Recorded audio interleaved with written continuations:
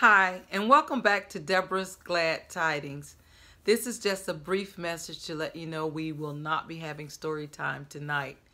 Story time is every Monday, Wednesday, and Friday night at 10 p.m. Eastern Time.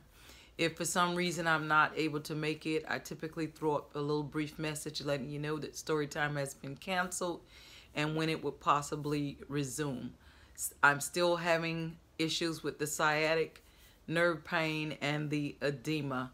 And I'm hoping by next week, Monday, things are a lot better. It's not as bad as it was, but it's still bad enough that it doesn't permit me to sit for uh, the time I need to sit to write out my story and prepare for story time. So like I said, story time is canceled tonight. Hopefully story time will resume on Monday at 10 p.m. Eastern time. Always remember, until we meet again, may his peace be with you. And always remember, I have a will to live. I will see you all at the next story time.